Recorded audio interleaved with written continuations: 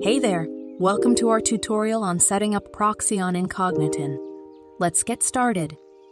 First, open Incogniton and create a new profile by clicking on New Profile. Next, rename the profile to your preference. Now, click on Add Proxy. Head over to your proxy provider, in this case, ProxyLink. Generate your proxy using the proxy generator and then copy it. Go back to Incogniton and select the type proxy. Here we're choosing HTTP. Paste the entire proxy into the designated field. It will format automatically. Click on Check Proxy to verify that it's working. Then, click on Create Profile. Press Start to launch your profile.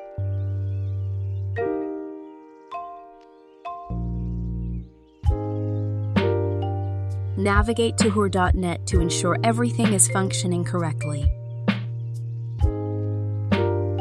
And there you have it. The proxy has been successfully configured. Don't forget to subscribe for more tutorials and tips. Thanks for watching.